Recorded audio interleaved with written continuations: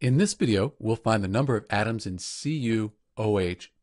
This is copper 2 hydroxide. So let's write the element symbols first. For copper, Cu, then we have an oxygen and a hydrogen.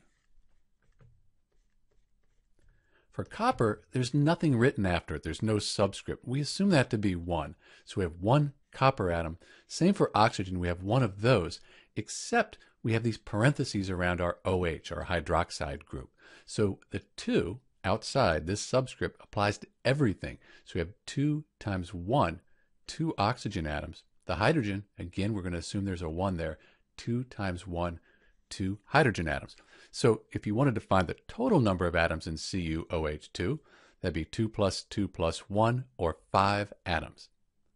Sometimes you're asked to find the number of, for example, oxygen atoms in one mole of copper 2 hydroxide.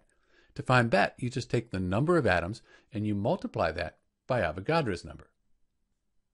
So we take 2 times Avogadro's number right here, and that will give us the number of oxygen atoms in copper 2 hydroxide.